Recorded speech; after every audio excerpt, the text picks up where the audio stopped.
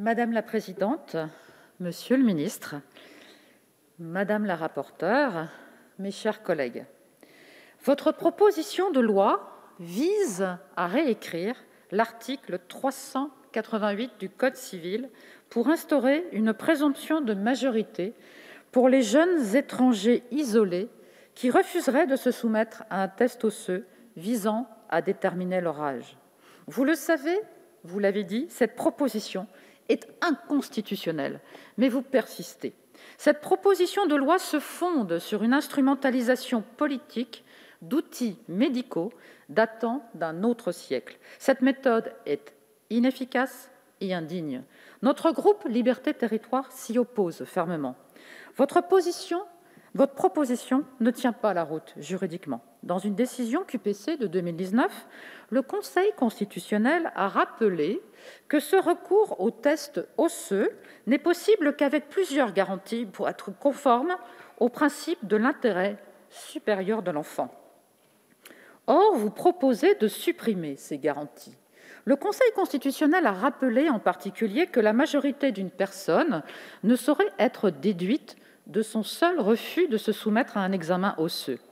En instaurant une présomption de la majorité pour les personnes refusant de se soumettre au test, l'inconstitutionnalité de votre proposition fait peu de doute.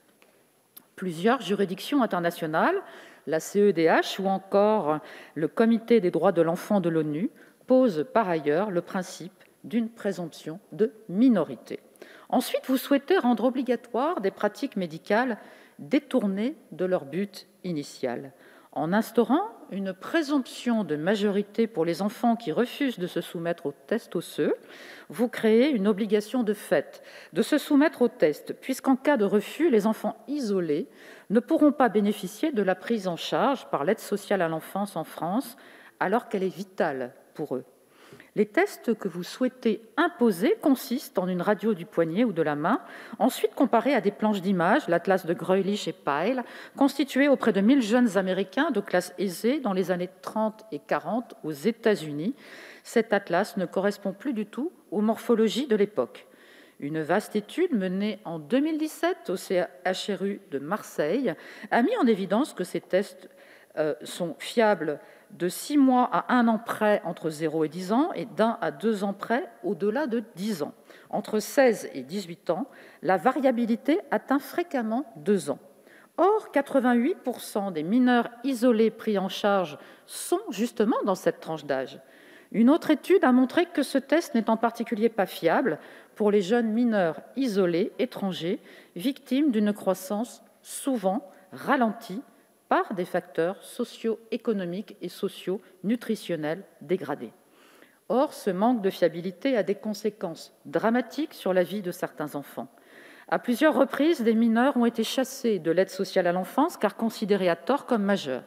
Le comité d'éthique du CHU de Brest rapporte en 2018 le cas de jeunes migrants jugés majeurs, remis à la rue sur la seule base de l'examen osseux, malgré une évaluation positive de la part de l'aide sociale à l'enfance de leur minorité. En 2014, des médias relayaient le cas similaire d'une jeune fille de 16 ans mise à la rue à la suite d'un test osseux erroné qui lui donnait 18 ans. Enfin, quel affront de présenter une telle proposition de loi L'argument avancé pour justifier cette proposition est qu'une partie importante des jeunes ayant le statut de mineurs non accompagnés et bénéficiant à ce titre de l'aide sociale à l'enfance sont en réalité des majeurs qui se font passer pour mineurs. Mais à aucun moment, vous ne vous demandez pourquoi certains majeurs cherchent à se faire passer pour mineurs pour bénéficier de ce statut. Ils risquent de vivre à la rue s'ils ne bénéficient pas de cet accompagnement. Est-ce cela que vous voulez réellement? Est-ce plutôt vous réapproprier le discours de l'extrême droite? Dites-le, s'il vous plaît, clairement.